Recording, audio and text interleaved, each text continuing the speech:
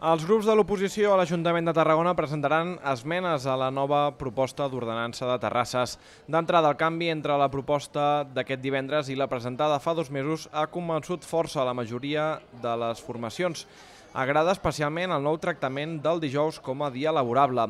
Abans d'aprovar-la a la tardor, però, els grups podran filar prim per acabar de fer valer les seves aportacions. Però sempre en clau de, de propostes i, de, i en clau doncs, constructiva, eh? no, no és pas... És un bon document, de fet agraïm moltíssim la feina que han fet els tècnics i jo crec que és, és un document necessari i per tant doncs, sempre que, que presentem esmenes serà de manera constructiva o perquè hem recollit alguna observació que doncs, potser fins ara nosaltres no hi havíem arribat i restauració o veïns ens ho fan arribar. Que sigui una ordenança que, project, que permeti projectar a Tarragona i la seva activitat eh, turística, cultural i per tant presentarem esmenes sempre en la línia també de que els sectors implicats, el sector hoteler, doncs, eh, pugui desenvolupar el seu, el seu, la seva feina. Eh, els metros a mi no m'acaben de fer el pes, no?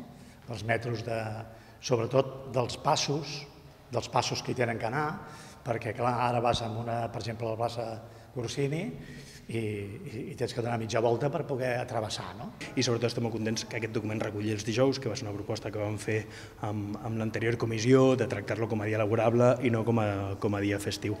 Creiem que hi ha caminet a fer encara amb temes de sobreocupació de terrasses, amb, la norma, no? amb la, el nou règim sancionador, tot i que és bo, jo crec que encara és, és millorable.